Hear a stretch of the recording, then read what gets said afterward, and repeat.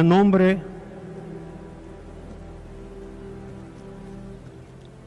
a nombre de la familia Ventura, las gracias a todos por venir y por seguir esta despedida.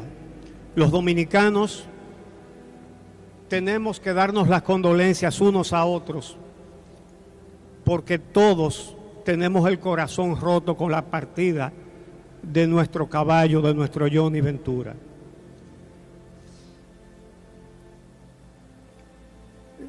Johnny muchas veces me, me pidió algunas décimas y nunca me pasó por la mente que debía hacerle una en una circunstancia como esta. Y son las palabras que tengo para despedir a este inmortal de todos los dominicanos que me hizo el favor de brindarme su amistad.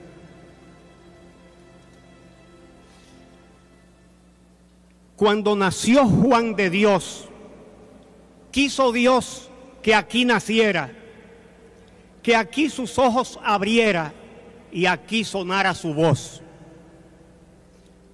Al momento de su adiós, el pueblo se rompe en llanto, sintiendo que pierde el canto que lo llenó de contento y llora al ver el momento del fin del que le dio tanto. De un gran peñón de talento, el Señor quiso dotarlo. Johnny se puso a tallarlo sin perder nunca el aliento.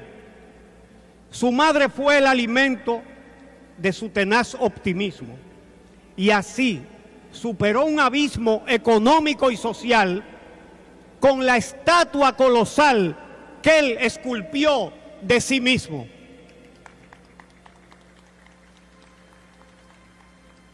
El afán individual tampoco lo conformó, pues junto al pueblo marchó en cada lucha social el éxito personal no fue el único en su pecho.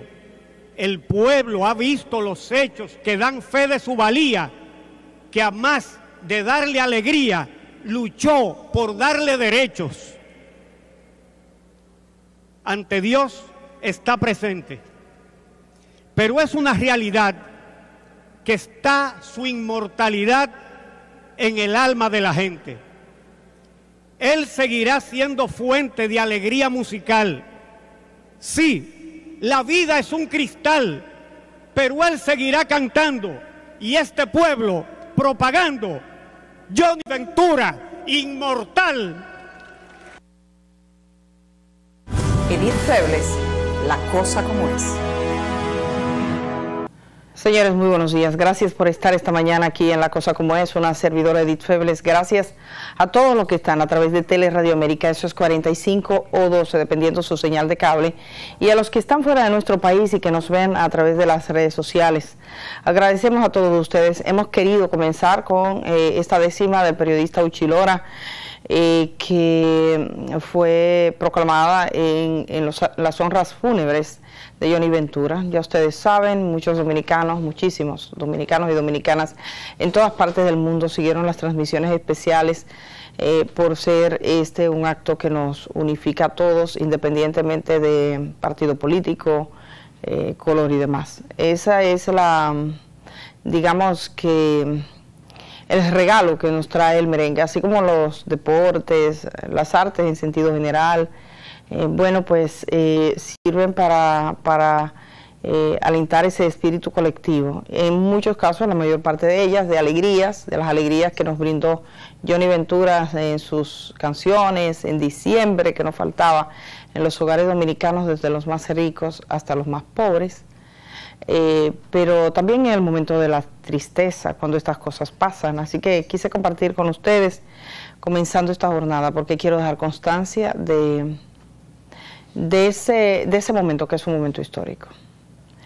Gracias a los que están a través de nuestras plataformas digitales. En mi canal, precisamente a esta hora de la mañana, eh, la gente entrando.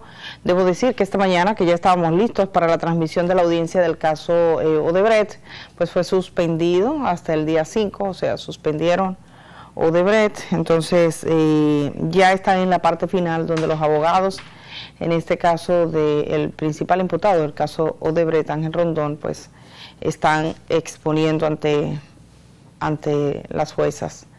Eh, vamos a, a estar pendientes y vamos a estar transmitiendo aquí todo lo que pase con el caso de Brett, que ya está en su fase final. Presten atención a estos debates que son momentos claves.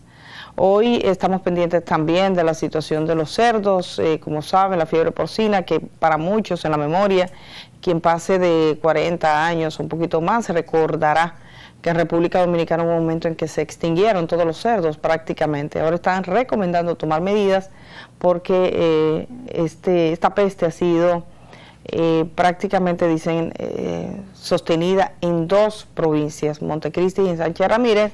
Hoy hubo una intervención de las autoridades para explicar eh, en qué consiste, qué pasa. Aquí les tenemos los detalles. También vamos a hablar un poco del magnicidio del presidente haitiano, asesinado en horas de la madrugada, un día que llegaron un grupo de hombres. Todavía no está claro los fines, no está claro quién mandó, quién pagó, quién auspició, quién patrocinó ese operativo tan costoso para acabar con la vida del presidente de Haití. Cuando regresemos de esta pausa vamos a hablar un poquito sobre esto. Hacemos este cambio y estamos regresando de una vez, estamos aquí diciendo la cosa como es. Agradezco sus comentarios a los que están en el chat y poner desde dónde nos están mirando para poder compartirlo.